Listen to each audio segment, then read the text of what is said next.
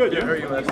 Urban uh, made a point right after the game to talk about the improvement of the total offense and in particular the guys up front.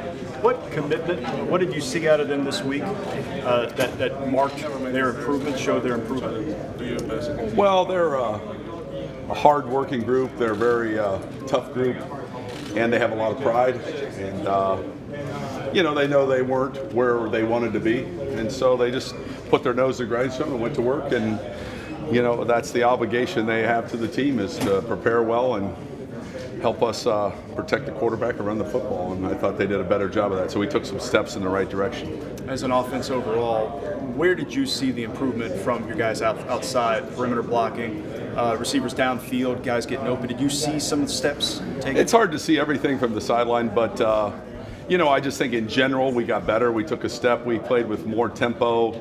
We had more big plays. Uh, we left a few big plays out there, but we hit a few big plays. Um, you know, so I, I, just think we're, we're starting to come around. I mean, uh, you know, it, it, takes a little time and new pieces and sorting through what we're doing, but uh, I think we're headed in the right direction. I think uh, we had a good attitude, a good demeanor in practice, and that carried over to the game, and uh, we got started fast. And then uh, we played a good team today. I mean, I give them credit. They're a well-coached team, very physical, played hard, and so uh, it was a, it was a good, uh, good day. How the mechanics of play calling change? Uh, just uh, getting Tim more involved in that process because he can see a little better. So maybe having him help more in the passing game and, and you know, kind of his vision, making uh, more suggestions and, and, rolling with him. You know what I mean? And, and, then when we were going tempos, sometimes it's easier to see everything when we go faster from up there. So we just we involved him back a lot more.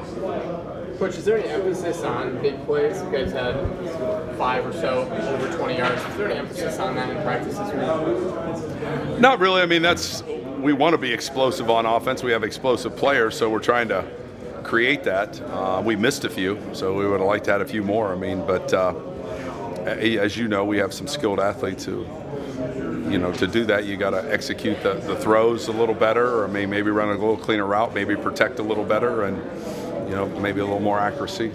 Was the protection better today? Uh, I thought so. Yeah, unless yeah.